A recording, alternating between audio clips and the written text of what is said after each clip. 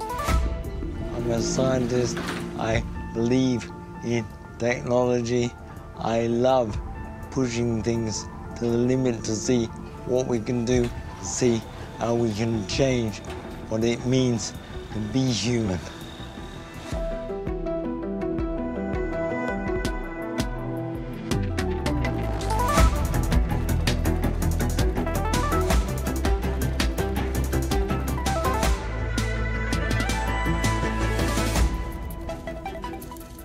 Bij Telefacts.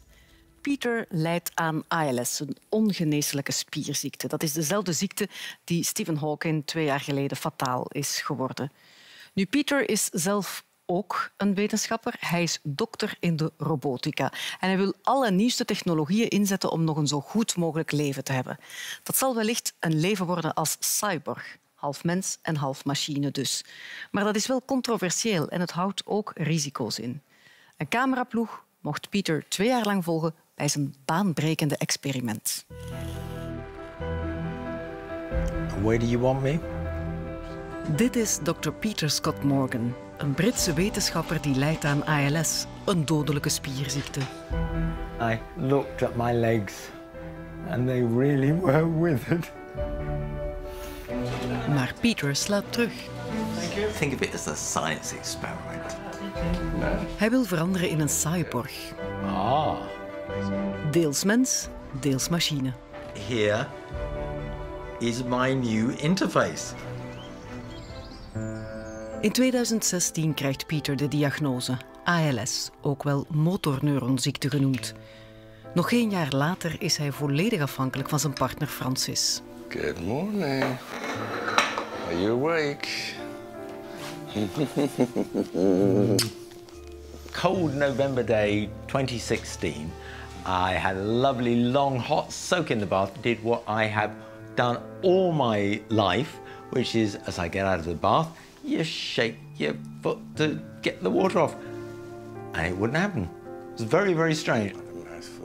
After a series of tests, I was diagnosed with motor neuron disease, a horrific, cruel disease. You got it? De ziekte legt bijna elke spier in zijn lichaam lam. Op termijn zal hij daaraan sterven. Sure. Really, really sure. okay. De dokters geven Pieter hooguit nog twee jaar. Hij wil dan ook niets liever dan dat zijn experiment lukt. Good morning. Iedere morgen komt er een verpleger aan huis om hem te wassen. Pieter kan zijn benen niet meer bewegen en ook zijn armen verzwakken. Na verloop van tijd zal hij nog maar met moeite kunnen eten en ademen. Het risico is groot dat hij dan stikt. Alleen zijn hersenen blijven intact. Het hele aftakelingsproces zal hij dus bewust meemaken. Een kwelling. Being locked in is not ideal. It's not what I planned or wanted. Um, uh, it is what it is. it is a shock. It is how do we deal with this? And I've shed a tear. I've, I've felt how on earth am I going to? You feel alone. You feel very afraid watching him deteriorate. It's it's traumatic. Usually, the only person that people have heard of with motor neuron disease is Stephen Hawking. Medicine has not been able to cure me. Hawking was een bekende wetenschapper. In 2018 is hij overleden aan zijn ziekte. I met him briefly once. The most important thing, I'm absolutely convinced, Stephen Hawking said, is focus on what you can do, not on what you can't. Because if you focus and get frustrated and grieve too much, because that's what it feels like, you're grieving for all the life, all the things you could do, that is psychologically corrosive. Net zoals Hawking is ook Pieter een baanbrekende wetenschapper die al zijn vertrouwen stelt in de medische wereld.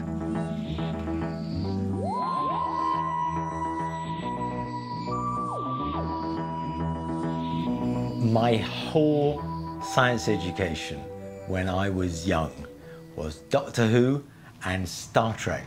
When he has served his purpose, he, like the others, will be eliminated. Al van kinds af aan is hij gefascineerd door science fiction. Later is hij afgestudeerd als dokter in de robotica aan een prestigieuze Britse universiteit. En die kennis wil hij nu inzetten in de strijd tegen zijn ziekte. One of the most important things I learned was that any problem could be solved if you were bright enough, brave enough, and if you had access to really, really cool technology. So I came up with this idea to throw the rule book out, bring technology in, try to make life not just for me but for everybody with MND transform. Aangezien hij niet meer gewoon zal kunnen eten, wil hij ervoor zorgen dat zijn lichaam de nodige voedingsstoffen krijgt op een andere manier. Om te voorkomen dat hij stikt, zal hij ademen via een slang. Zijn strottenhoofd wordt daarvoor verwijderd, waardoor hij niet meer zal kunnen spreken. Dat lost hij op met een computerstem die precies klinkt zoals zijn eigen stem. Dankzij kunstmatige intelligentie zal hij alles kunnen zeggen wat hij denkt of voelt. Hij wil een koppeling laten bouwen die rechtstreeks is aangesloten op zijn hersenen.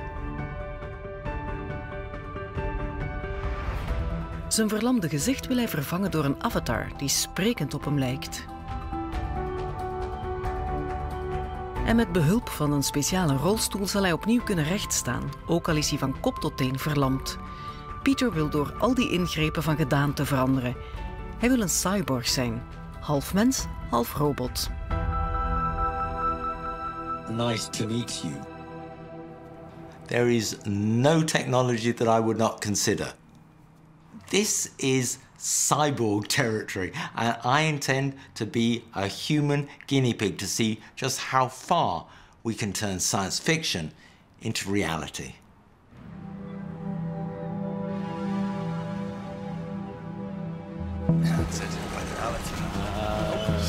Pieter heeft een ziekenhuis gevonden dat bereid is om mee te stappen in zijn verhaal. Als hij de eerste menselijke cyborg ooit wil worden, moet het snel gaan. Want hij is nog geen jaar geleden ziek verklaard en zit nu al permanent in een rolstoel. Bij alles heeft hij hulp nodig, ook om naar het toilet te gaan. Actually, I don't particularly like the idea of being toileted. That's a perfect opportunity to throw a bit of engineering at it. Nice room. Lovely. Be your suite from next week.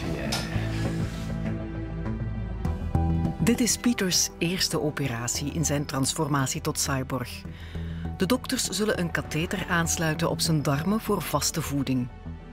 De tweede slang zorgt ervoor dat zijn lichaam voldoende vocht binnenkrijgt. Een experimentele behandeling, maar de Britse gezondheidsautoriteiten stemmen ermee in. Brilliant. Take that, thrombosis. You're not going to expect this treatment when you get home, are you? Een patiënt met ALS opereren is delicaat. Come in. Daarom heeft hij eerst nog een gesprek met de anesthesist. Obviously, as I said to you the other day, there are risks along the way. So tell me what you remember from the risks that I talked about. As I remember it, frankly, there's not that many people with MND that have major surgery. A lot, and so That's there's not right. there's not as much research for us to fall back on. That's right. But what we do know mm-hmm. is that the very process of you going in using clever drugs, basically to interfere with my nerves. Yep. But my nerves are already not acting normally. That it actually accelerates the MND itself. That's right. Good stuff. Great. Thanks. See you tomorrow. Wonderful. You can't help but be impressed by the way that he wants to take control. Lovely. And, and again. Lovely. For patients with MND, where the situation generally is very bleak, Peter's solution is cutting edge. So I think this is groundbreaking, and he is yeah, a pioneer. We don't quite know how to minimize all the risks, but that's okay because whatever happens, we will learn from it and we will do it better the next time. So, uh, from that point of view, think of it as a science experiment. No. You're not Time a scientist, remember, you're a very naughty boy. Okay, Right. right, now, okay. Stop talking. You've got to go. Thanks, guys. Best of luck. Come to take you for your surgery. Excellent. Yes, please. Thank you. Voor Francis is het bang afwachten. Terwijl Peter onder het mes gaat, keert hij terug naar huis. Het koppel is al 40 jaar onafscheidelijk. First time I met Peter, it was actually a very strange day. I just heard uh, a friend of mine had been murdered by queer bashers. So I was feeling rather despondent, and then uh, behind me came in this vision. Uh, was, I think, he was nearly 21, so still, still illegal, with his tight trousers on, flowing hair, big white teeth, and suddenly all of my woes went away. I love at first sight. I know it sounds stupid, but it was it was kind of romantic, and I found him at a good time. Uren en uren zit hij naast de telefoon te wachten, op van de zenuwen, want de operatie is nog nooit eerder uitgevoerd. Hello. Hello, is that Dr. Scott Morgan's partner? It is. It is. Hello, it's Mr. Kevin. Hi. So, I'm doing fine, thank you, and so's Peter, actually. Brilliant. Brilliant. We finished the operation. Oh, well done. Wonderful. Uh, the operation went extremely smoothly, actually. I was very pleased with it. Oh, great. That's so kind of you to give me a call. That's really reassuring. Here is my new interface. So I have fluids in, solids in, um, output number one, output number two. It's brilliant. I'm set for life. I don't know why everyone doesn't get one of these. Al snel volgt een tweede operatie. Hier komen al wat ingenieuzere machines bij kijken, vol spitstechnologie. Peter is verlamd aan beide benen. Zijn grote droom? Opnieuw kunnen stappen.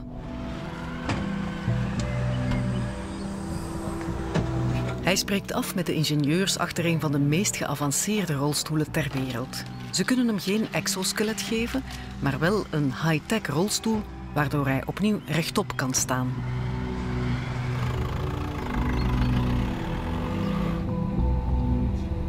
Intellectually, I understood that people who were disabled can have a rough time just fitting into the environment. So now I'm in a wheelchair. Now I get it. And it's incredibly difficult. Very, very good to see you. Even in hospitals, uh, where you uh, go in and uh, I'm in a wheelchair, I, I look over this towering reception desk, a lovely face smiles, and then looks to Francis and, and just break eye contact. Then we can just maybe tilt the chair and maybe. So this is a very, very important test. There you go. So if you just push that forward. Here we go. Okay, strange feelings. Take. I am doing nothing.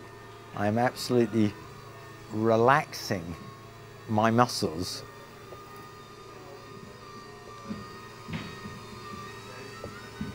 I am completely flopping,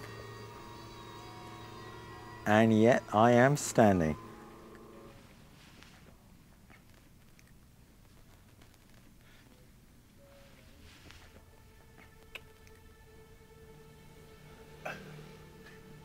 Good grief.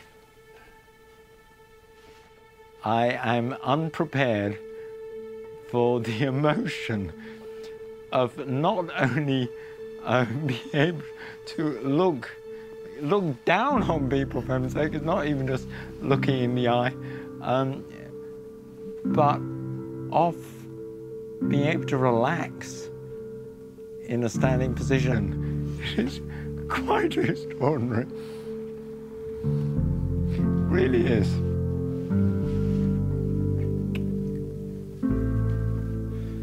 Just being able to stand and look around. It's, it's amazing. Really is. Dankzij de nieuwste technologieën zal Peter weer kunnen eten, stappen en wie weet zelfs praten. Hello, Dr. Aylett. How very, very wonderful at last to talk to you. Dr. Aylett is een computertechnoloog gespecialiseerd in artificiële stemmen. One of the big problems when I uh, email to people who are locked in is they say of all the faculties that they lost, speech was the worst. Yeah. The, the, the most traumatic, the one that made them feel most disabled. It is impossible, even if they use text to speech, they aren't communicating their personality, they're not able to communicate uh, emotion. But changing the voice quality is really hard, and the, the, the sheer magic and flexibility of the human voices is, is just incredible.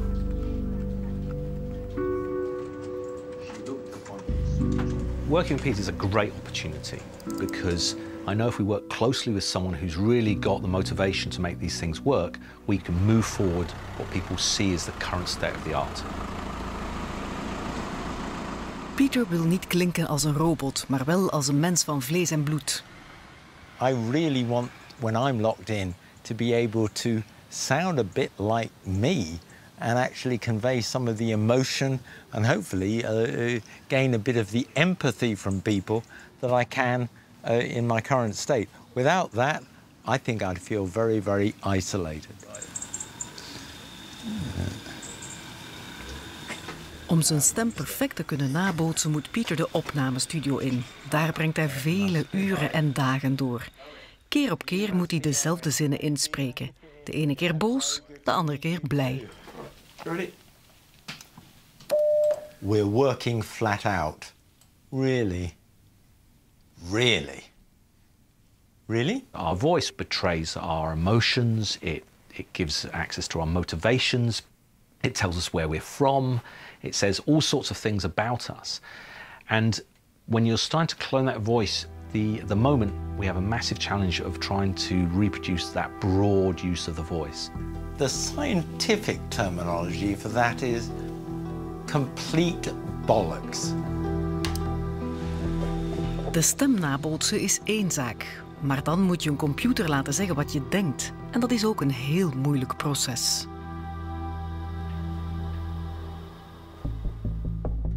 Maar Pieter heeft ook daar een oplossing voor. Een brein-computerkoppeling, een interface die als het ware je gedachten leest. Via elektrodes is het mogelijk om je hersenen te koppelen aan een computer. Een medisch centrum in New York is gespecialiseerd in deze futuristische neurotechnologie. Pieter contacteert hen. Hello there.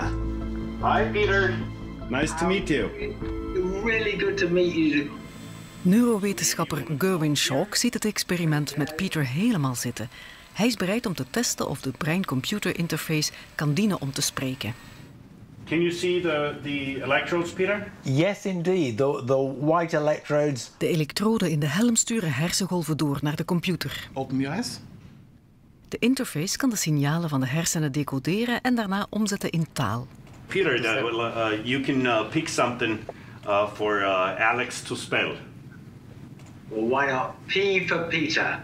If you can do that, that would be very impressive.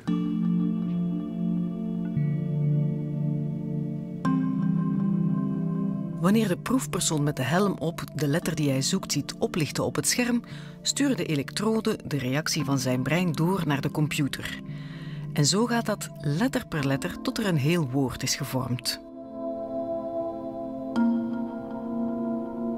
So that whole process uh, took, uh, what, about three minutes maybe?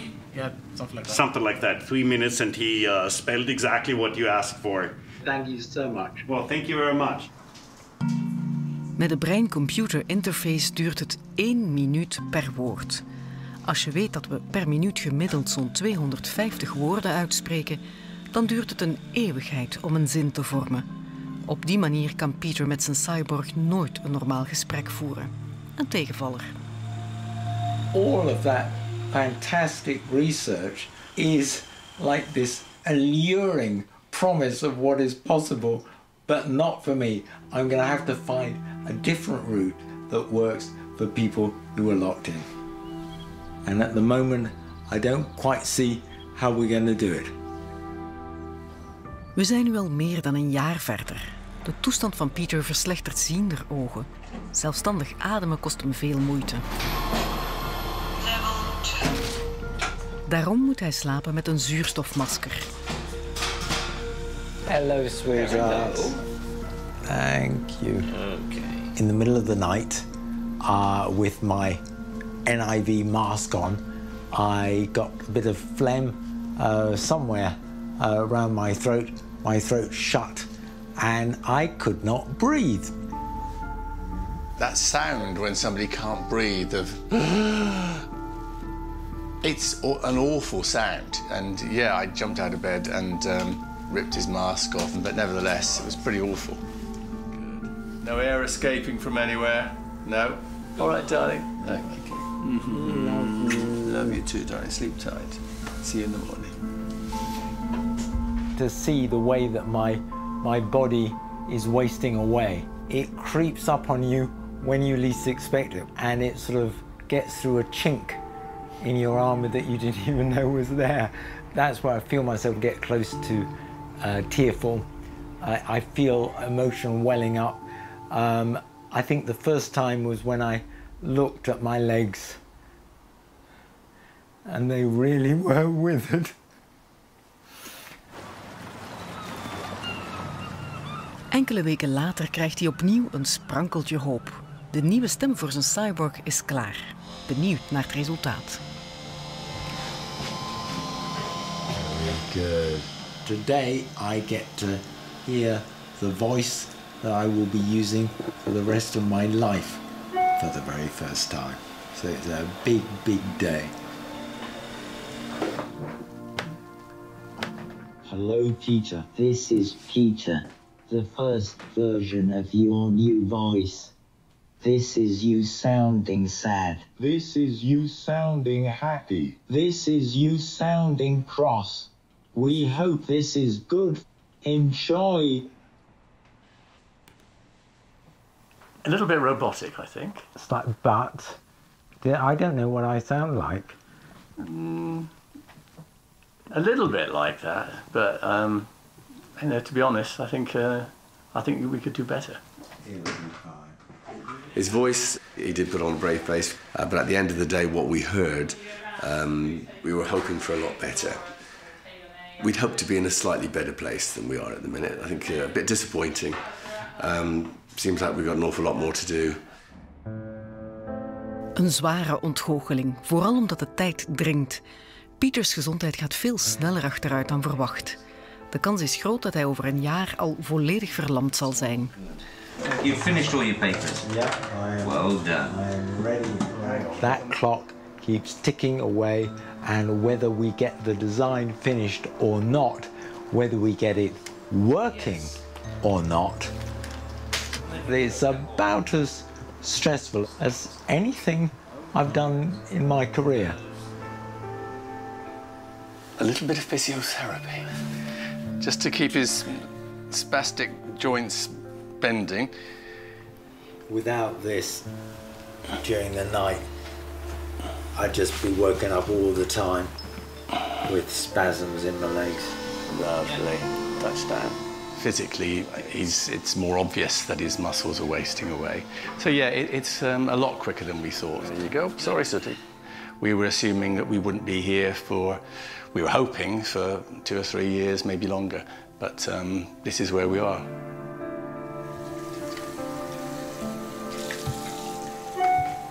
I am so conscious that there is every risk that I end up with a really, really high tech system that just does not work.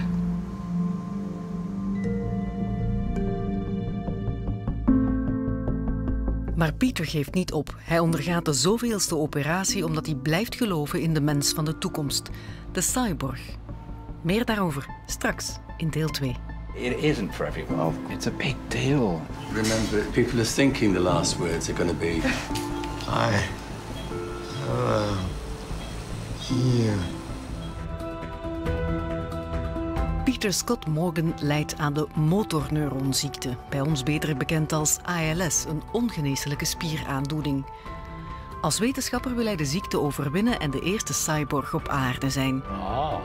Een mens met een soort ingebouwde robot. Maar na anderhalf jaar research staat hij nog nergens, terwijl zijn gezondheid snel bergaf gaat. I've got a code. So we really got to be careful that Peter doesn't catch that code. So I'll wear these. Simple. Zijn benen zijn verlamd, maar de ziekte tast nu ook zijn hele bovenlichaam aan. Ook eten en praten gaat zeer moeizaam.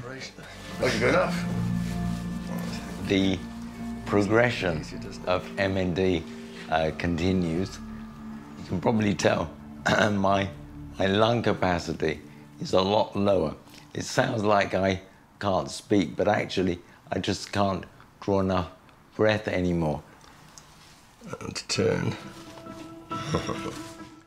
Om tijd te winnen besluit Peter het ontwerp van zijn cyborg te vereenvoudigen. Een exoskelet dat moet helpen om rechtop te staan en te stappen, schrapt hij voorlopig. In plaats van zijn gezicht te vervangen door een avatar, gaat hij hem gewoon projecteren op zijn borst. Alleen aan de spraaktechnologie wil hij nog voortsleutelen. Hij hoopt nog altijd een computerstem te vinden die niet klinkt als een robot. In plaats van een brein-computer interface te gebruiken, zal hij alles wat hij wil zeggen tikken. Niet met zijn vingers, want die zijn verlamd, maar wel met zijn ogen via camera's die zijn pupillen volgen terwijl hij naar het computerscherm kijkt.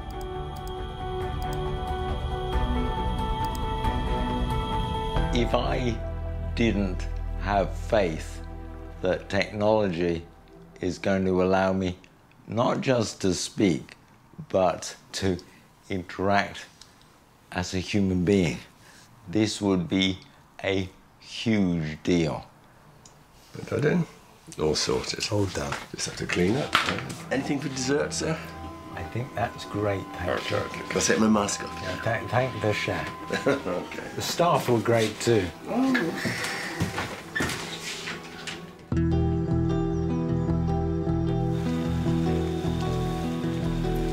Magnificent. Voor één keer maakt hij een uitzondering en bergt zijn plannen met zijn cyborg even op. Want hij en Francis hebben iets te vieren. Ze zijn vandaag precies 13 jaar getrouwd. Happy anniversary, darling. And Yes. have you won that? Well, we've been together for 40 years nearly, so 13 is just only part of our life together. That's when the law bothered to catch up. We made it catch up. Oh yeah, I'd We made forgotten that catch up. Yeah, they, they were wrong and we were right. Peter en Francis zijn getrouwd op 21 december 2005, de dag waarop het homohuwelijk in Groot-Brittannië werd gelegaliseerd. Ze waren een van de eerste koppels die elkaar het ja-woord gaven. It was a beautiful day, wasn't it? It was the sun was shining. And we walked down the aisle with is it five of the family, Yeah. flower girls, and Wonderful it was time, brilliant. Wonderful time. Every day you live, learn how to receive love with as much understanding as you give it. So all in all, very good Happy memories. memories. Happy memories. We took on the world and won then. And we'll do We're it again taking on the world and win again. I don't know, you were taking on the world. Every it's time we something take that the a on. hobby.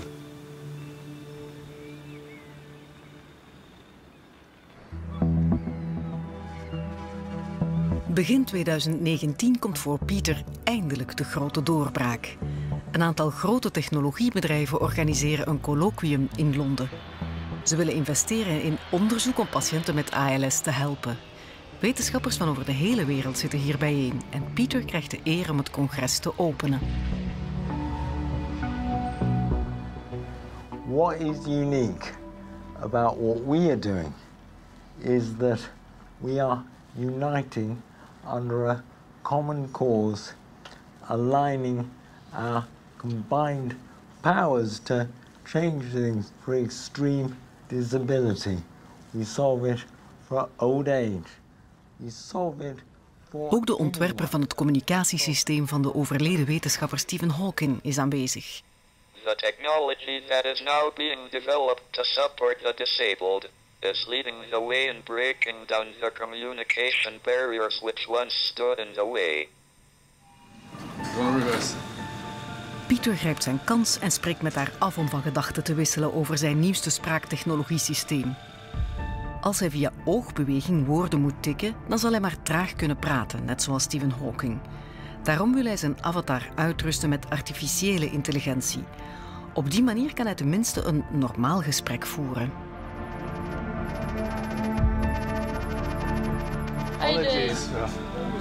That's all right. There's it's very important social interaction with me, chatting away. Mm-hmm. Sometimes it's slightly blue, puerile, silly, but it's, you know, it's what people who really got to know each other. To stop it then, Peter. Yeah.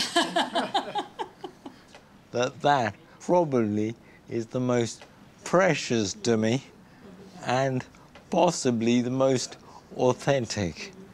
I mean, we've been focused a lot on the conversational Yeah, aspect yeah, of this and you enabling you to have a conversation with people. So I think what's really important here is to figure out a collaboration between the human and the AI. I mean, Stephen was very much into controlling every single word. At the other end of the spectrum, if you give all control to the AI system, then you're really not bringing your personality Als hij kiest voor kunstmatige intelligentie, dan is het niet Peter die praat, maar zijn avatar. Hij doet dat wel met zijn stem en de woorden die hij van hem heeft geleerd. something that is relevant and kind of sounds like what you would say, I think that is possible with AI. You will all interact. It'll still be me, but it'll be a different me. And I will move on too. I mean, it's just in the same way that if you work with an assistant, right? If you're going to tell them every single thing and how to do it, you can't be efficient at having that happen, right? If you're willing to give up that level of control, right, then there's much more that can be done. Thank you, thank you. Bless you. Bij artificiële intelligentie neemt de machine het over van de mens. Dat wil zeggen dat de avatar van Peter zijn persoonlijkheid overneemt. En dat roept natuurlijk ethische vragen op. Thank you so much. I'm a scientist. I believe in technology. I love pushing things to the limit to see what we can do, to see how we can change what it means to be human. Peter moet knopen doorhakken voor het onherroepelijk te laat is. Straighten up. Go a bit further forward. That feels about right. Just position. Well, can you move back then? Hij is nu twee jaar ziek en is al tot aan zijn hals verlamd. Hij kan nauwelijks nog slikken of hoesten. Keep straight. Zijn speeksel loopt niet meer naar zijn maag, maar naar zijn longen en stapelt zich daar op. Hierdoor kan Peter een longontsteking krijgen, wat hem fataal kan worden. Tenzij de dokters zijn longen loskoppelen van zijn mond en zijn strottenhoofd verwijderen. In de plaats komt er een stoma, zodat hij opnieuw vrij kan ademen. Maar zijn stembanden is hij dan kwijt. Het is dus een ingrijpende operatie met verregaande gevolgen. Daarom wil de dokter hem nog op voorhand spreken.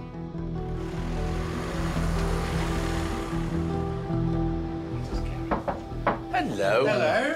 Hello, Philip. Good to see you again. And you. It starts off with a big old cut, as you can imagine. So from about there, round here to about there. I personally like there's the, where the stoma, the hole is. I make that separate from the the big incision. Ah. So I, I've never had a problem with that, and it heals nicely. I feel more and more uncomfortable that the timing is excellent because conveniently from that point of view everything is shutting down. We would not want to wait until the spring. No, Please no, I don't think we can. would- Then it's the right thing to do. It, it's uh, not. For, it isn't for everyone. Of course not. It's a big deal. It's a big deal to go through. I have, over the years, had a number of patients who would rather die of cancer than, than have laryngectomies. De gevolgen zijn groot, maar toch wil Pieter ermee doorgaan. It is a lot to come to terms with. Just having a conversation is going to be very different. I think it makes you value your relationship more because doors close more. And you know, our challenge is to try to keep some open as much as we possibly can.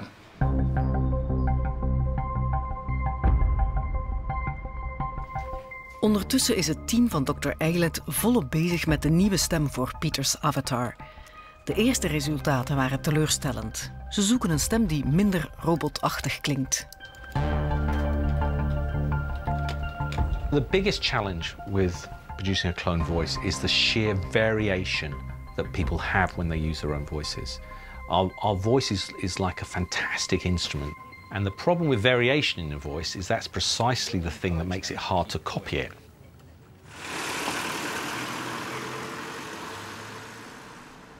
Over twee maanden wordt Peter geopereerd. Zijn nieuwe computerstem is net op tijd klaar. Peter en zijn familie zijn zeer benieuwd naar het resultaat. Ready? Three, two, one. De dokter heeft nog een verrassing voor Peter. Come with me,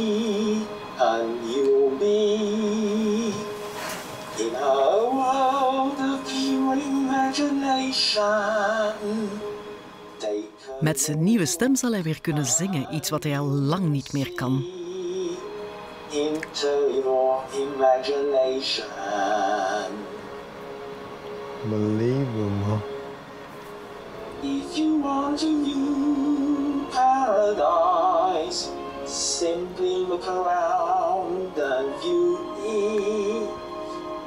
Anything you want to do it, want to change the world, there is nothing to it.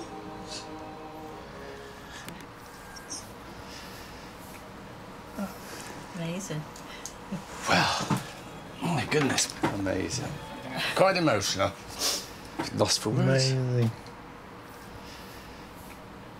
I think it just sounded right. That's your Great, voice. yeah. It's your voice. Incredibly Incredibly clever. Like, yeah. I mean, getting back something I never thought I would.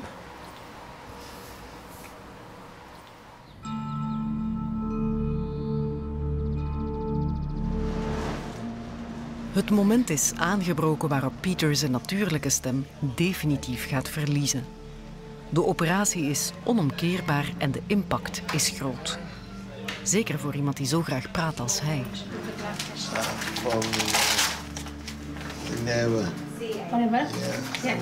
It's a, it's a kind of uh, odd combination of uh, uh, emotions, really, because obviously we're going to lose Peter's biological voice, which is It's horrible. largely gone over. It's not doing very well at the minute, I know.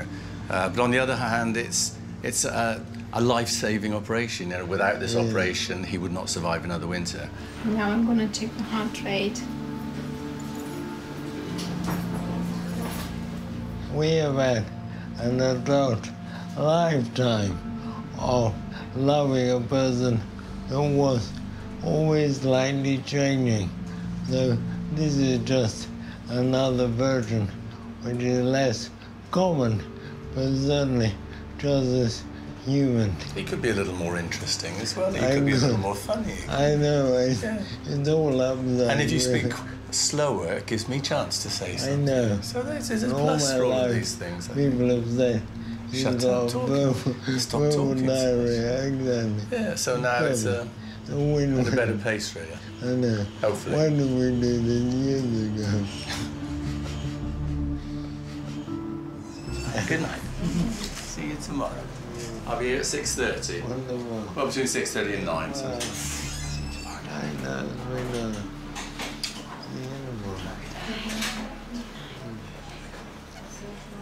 Come on then.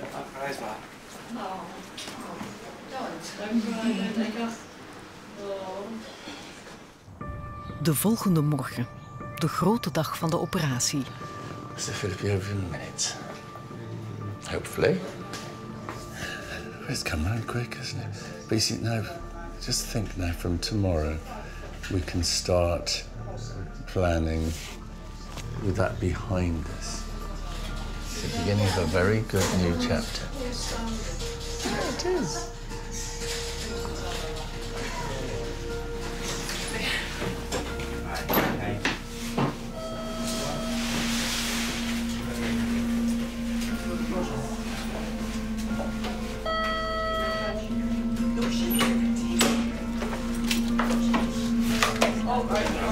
Okay.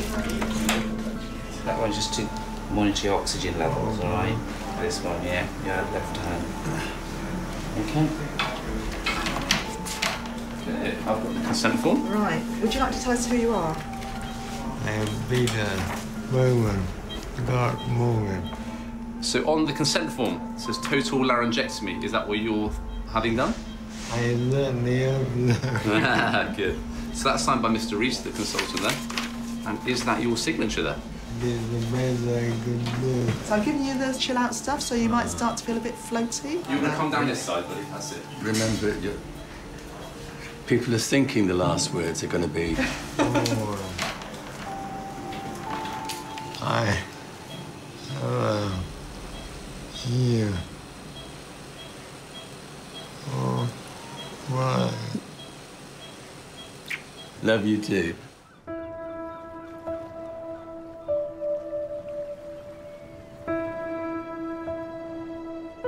De ingreep is een succes en Pieter is terug thuis. Hij kan opnieuw ademen, maar praten niet omdat zijn spraakcomputer nog niet helemaal op punt staat. Het is nog nooit zo stil geweest in huis. It's the biggest challenge um, I've ever had to deal with, and I think you have as well, really. Um, but I'm getting used to the silence. I'm getting used to the quiet. You know, that takes some doing after 40 years of Peter talking um, a lot. We're in a good, as good a place as we could hope to be, given the situation, aren't we? Yeah.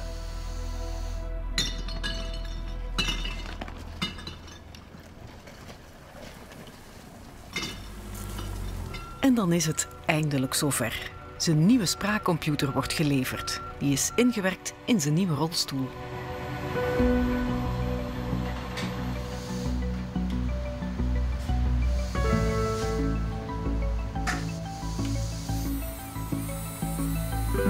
Een staaltje spitstechnologie. In zijn rolstoel zit niet alleen zijn nieuw communicatiesysteem, maar ook zijn avatar. Do you want to give it a spin? I thought that was cool. Een belangrijke mijlpaal. Voor Pieter, maar ook voor vele andere patiënten die hun stem zijn kwijtgeraakt. Gets you up.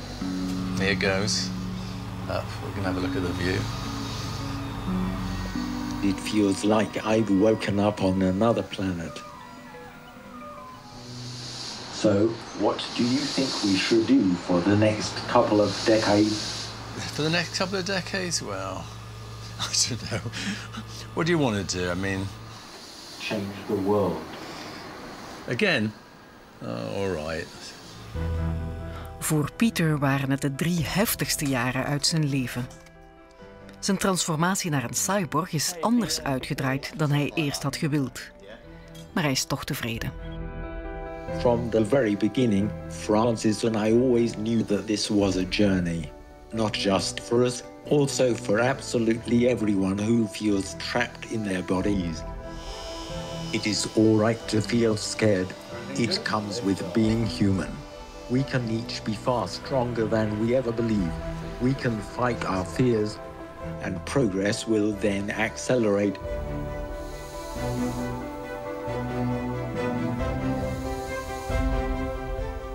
I am increasingly turning into a full cyborg, and adding more and more AI will simply make me even more of a cyborg.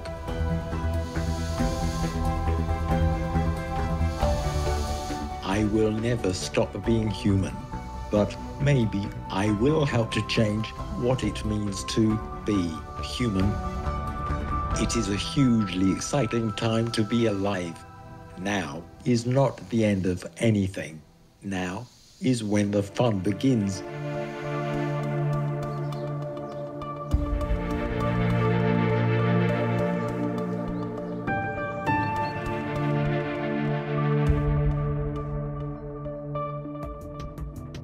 Pieter stelt het vrij goed naar omstandigheden toch en hij leeft nu al langer dan dat de dokters hem ooit gegeven hebben. Stephen Hawking heeft meer dan 50 jaar geleefd met zijn ziekte en dat is zeer uitzonderlijk. In ons land lijden ongeveer 1000 mensen aan ALS en ieder jaar overlijden 200 van hen. Wie weet kunnen de technologieën die Pieter nu aan het uittesten is hen ooit wel helpen. Dit was Telefax voor vandaag. Bedankt voor het kijken. Tot de volgende.